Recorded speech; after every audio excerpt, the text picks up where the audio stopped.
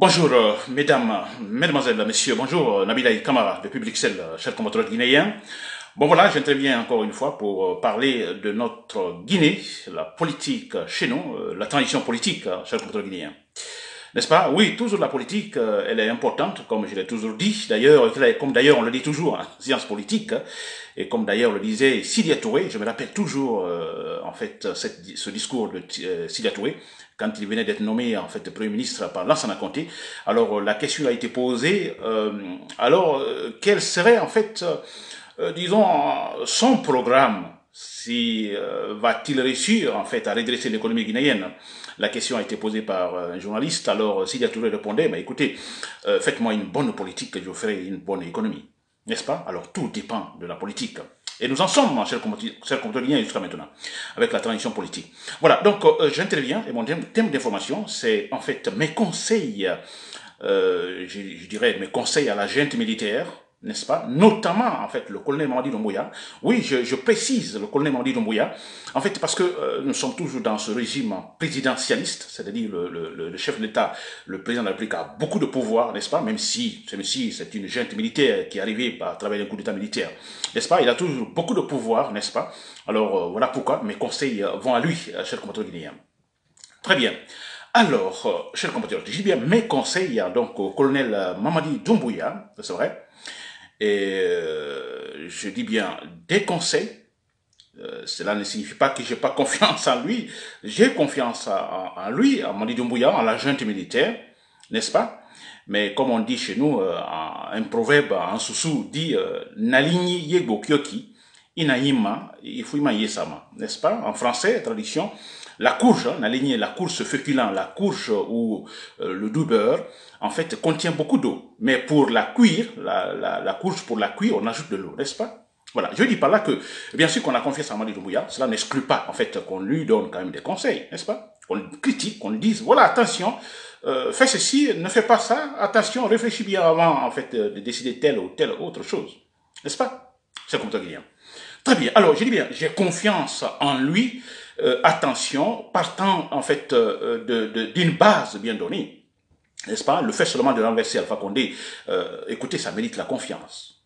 Hein? Le fait seulement qu'il a renversé Alpha Condé, ça mérite une confiance. Et aussi de ses discours, hein, à partir du 5 septembre dernier, nous le savons, ses discours. Quand il dit, par exemple, désormais, la justice sera en fait la boussole pour tous les Guinéens. N'est-ce pas? Par exemple, qui disent que personne ne mourra finalement euh, pour la politique. Oui, ce sont des éléments, des discours, franchement, qui euh, euh, peuvent nous pousser aujourd'hui à avoir confiance en Mamadi Doumbouya. N'est-ce pas? Voilà, donc quand je dis confiance en lui, ce n'est pas, disons, la confiance aveugle, donc des explications que je viens de donner, cher contrôleur. Alors aussi, j'ai la confiance en la réussite. J'ai confiance, j'ai la confiance que la junte militaire réussira sa transition politique. Et là aussi, euh, ça n'a rien à voir avec la personnalité de Mamadi Doumbouya, mais euh, c'est en fonction des contraintes, je dirais, contemporaines ou des contraintes géopolitiques. N'est-ce pas? Les contraintes sont là, elles sont euh, telles que, je me dis, euh, Mamadi Doumbouya n'a pas le droit à l'erreur. Il faut réussir la transition, n'est-ce pas? Alors ça aussi, ça me donne, euh, voilà, ça me met dans cette position, en fait, d'espérer. Et j'espère que cela sera la même chose pour tous les Guinéens. N'est-ce pas, c'est contre les Guinéens? Alors, je reviens sur le thème proprement dit. J'ai mes conseils, en fait, au colonel Mamadi Doumbouya. Très bien, c'est un des conseils pratiques que je vais essayer, en fait, euh, d'articuler, en fait, sur deux points. Euh, Je pense ces conseils-là en deux grandes parties. Le premier, euh, le premier point, ou la première partie de mes conseils que je donne à Mamadi Doumbouya, j'espère que Mamadi Doumbouya me suit ou me suivra, euh, c'est vrai. Alors, euh, deux grandes parties. Alors, la première partie de mes conseils que je donne à Mamadi Doumbouya, en fait, c'est autour, effectivement, de la réconciliation n'est-ce pas? On a ce comité national euh, pour la réconciliation et le développement qui est venu au pouvoir, euh, disons, le 5 septembre dernier, n'est-ce pas? S'appelant ainsi Comité national pour la réconciliation et le développement, même si, quelque part, je ne suis pas tellement d'accord avec cette appellation, comité militaire, comité national plutôt pour la réconciliation et le développement, j'aurais plutôt préféré comité national, euh, ok, pour la réconciliation et la restauration de la démocratie, n'est-ce pas? Ou la consolidation de la démocratie. Ok, ça n'a pas d'importance, ce sont des mots, voilà. Mais bon, comme je le dis, vous voyez ce nom, Comité national pour la réconciliation et le développement, il y a la réconciliation. Alors, je vais essayer de me camponner sur ce concept, la réconciliation. C'est très important. Donc, ce comité national a pour mission également de réconcilier les Guinéens, n'est-ce pas? Ensuite, développer. Très bien. Alors, moi, je pense que, euh, je, je, écoutez, ce que je vais dire, c'est des conseils, n'est-ce pas? C'est des conseils. C'est des gens qui sont au pouvoir également, en fait, je me dis, ils sont intelligents, n'est-ce pas? Ils réfléchissent, n'est-ce pas? Alors, je ne me vois pas supérieur, non. Je suis simple citoyen, un patriote guinéen qui tente également de donner des conseils, n'est-ce pas? Voilà, cher compatriote guinéen. Alors, je dis bien, on a une transition qui va essayer donc de réconcilier les Guinéens et développer, entre guillemets, n'est-ce pas? Alors, mais là aussi, attention, je dis, euh, réconcilier les Guinéens, il est question de mettre des bases solides pour la réconciliation. Développer la Guinée, c'est mettre des bases solides pour le développement. Parce que le temps est si court, le, temps pour la transition est si court qu'on ne peut pas réconcilier les Guinéens, ni développer la Guinée. Mais on peut, pendant ce temps-là, en fait, mettre les bases pour la réconciliation, les bases pour le développement. Ça, je crois que c'est des choses que nous devons comprendre. N'est-ce pas? Très bien. Alors, je dis bien, je suis tous donc dans cette première partie, cette première partie, ça, sur la réconciliation. Deuxième partie, je parlerai du coup d'État proprement dit. N'est-ce pas? Qu'est-ce qu'un coup d'État? Et comment, euh, qu'est-ce qui pousse les coups d'État, effectivement, en fait, à se réaliser? Donc, dans cette première partie concernant la réconciliation, donc on a la transition qui va, euh, qui a pour mission effectivement de réconcilier les Guinéens. C'est très important, chaque mode guinéen. Alors, mais quand on parle de réconciliation, c'est qu'il y a une division déjà il y a division, il y a eu des conflits, n'est-ce pas, entre les citoyens. C'est pourquoi on parle de réconciliation, n'est-ce pas? Alors, très bien, donc on a, euh, la société est divisée, on a les militaires qui viennent, on a la transition qui se dit, bon écoutez, je vais vous, vous réconcilier.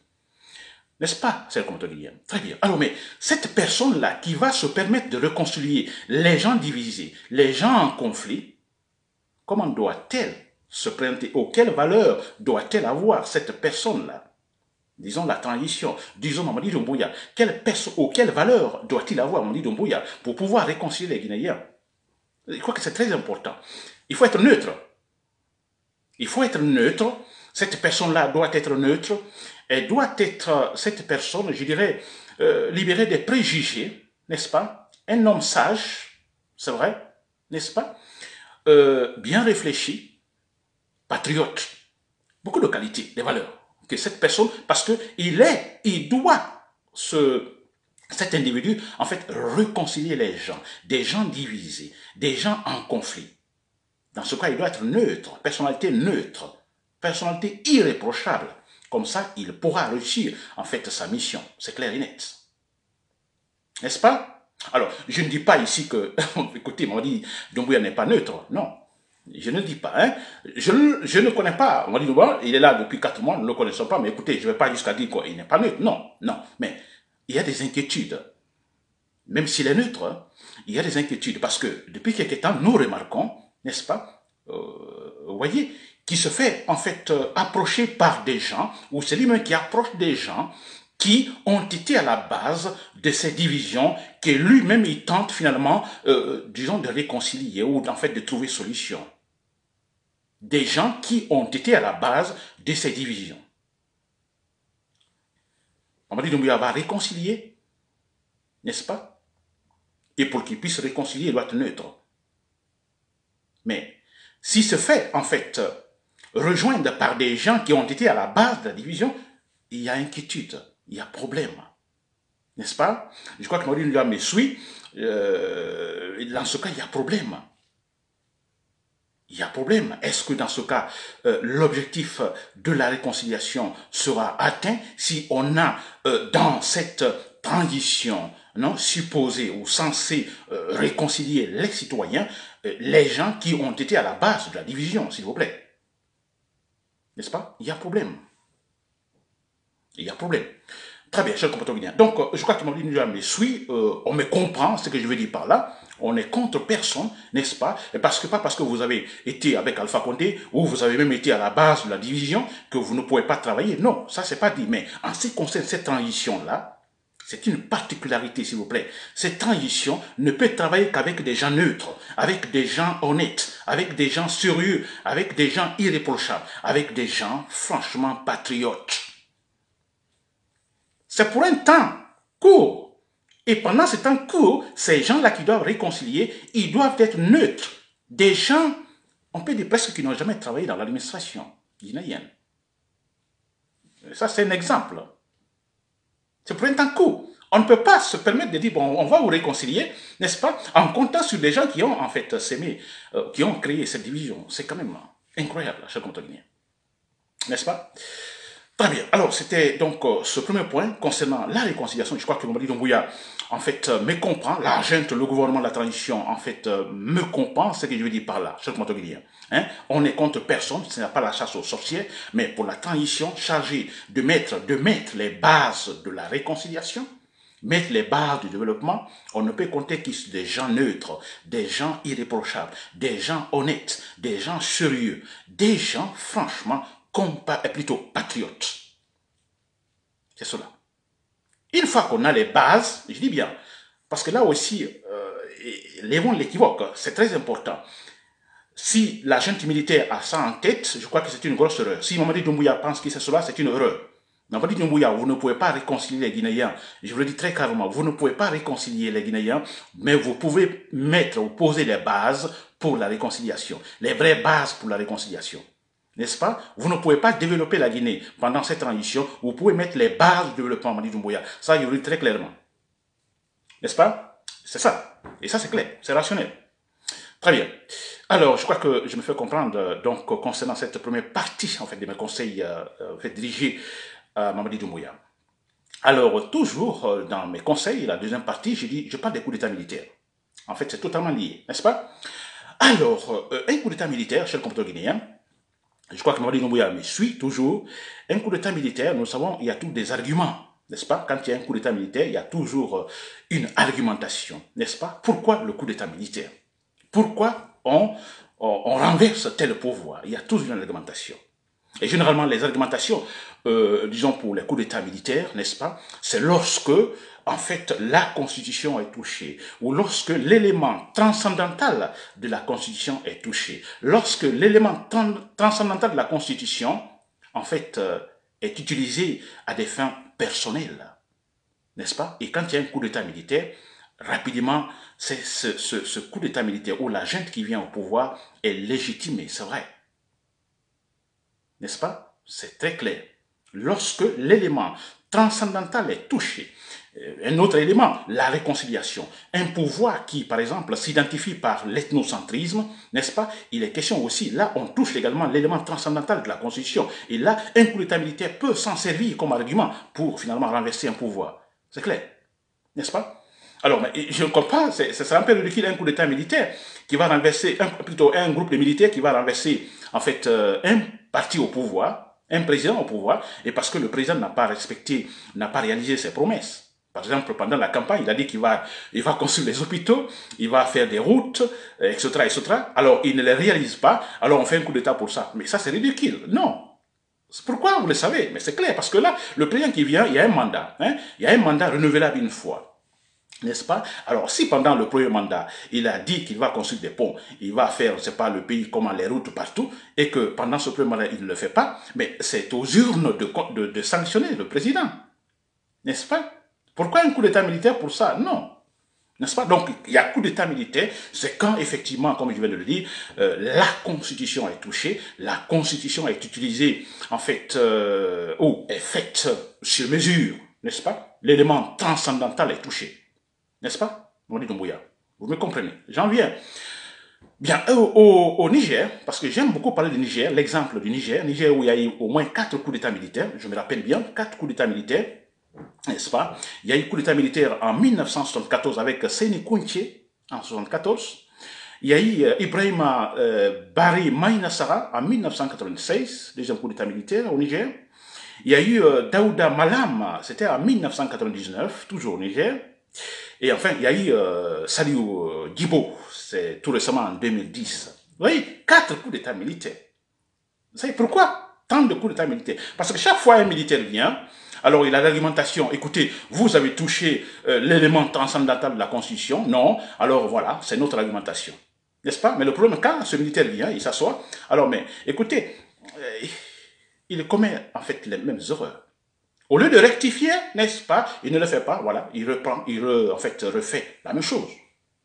N'est-ce pas? Et finalement, on a eu coup d'État, coup d'État, coup d'État au Niger. Quatre. Quatrième avec euh, Saloum qui, euh, je peux dire, il a réussi, lui, finalement.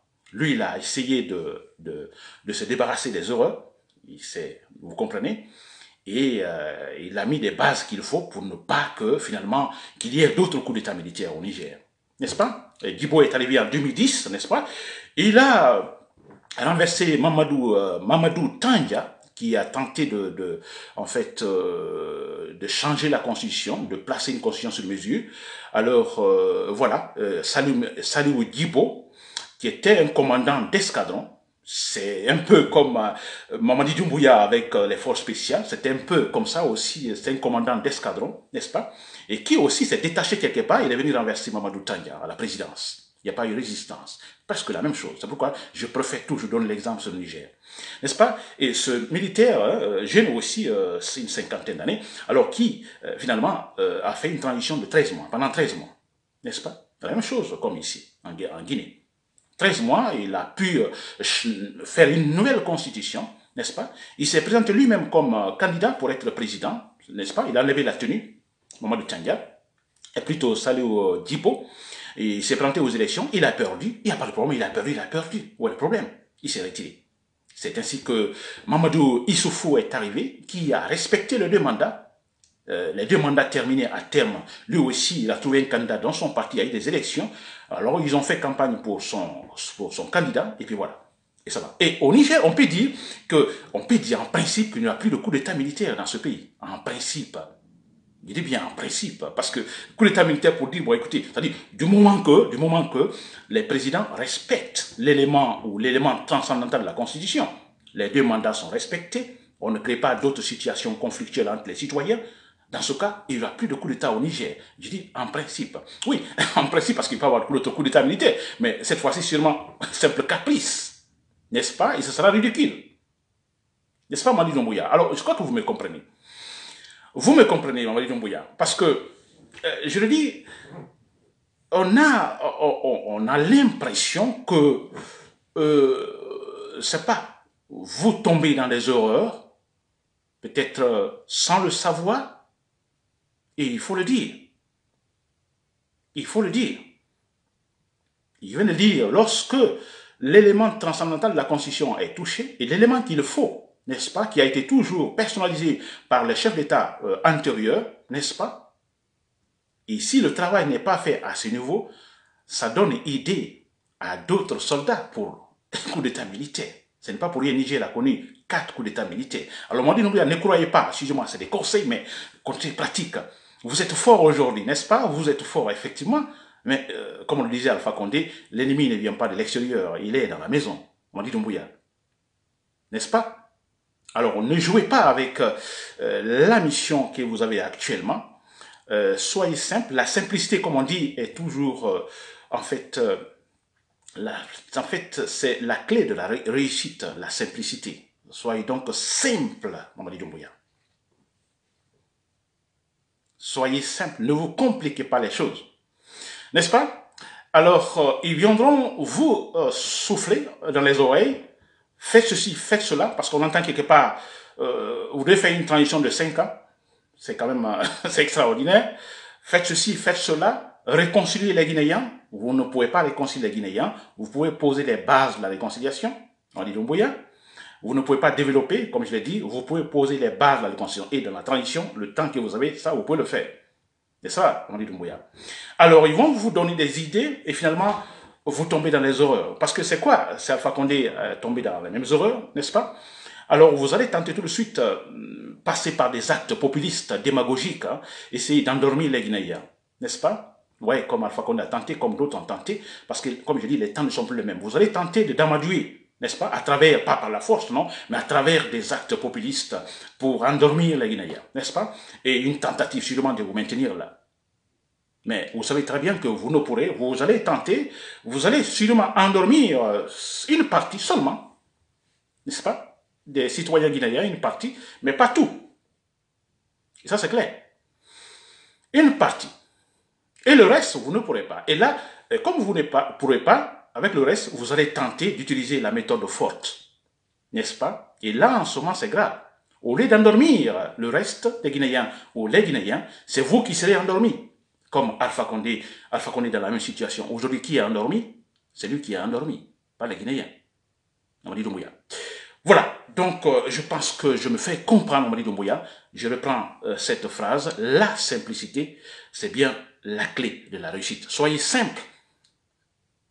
Si vous vous comportez donc euh, sur cet élan-là, de la simplicité, votre mission également, vous pourrez très clairement la réussir. Les objectifs sont atteints et vous serez un héros national que la Guinée n'est jamais connu, cher compteur guinéen. Voilà, c'était Nabil Kamara depuis Public 7. Merci pour le coup. Bonne soirée.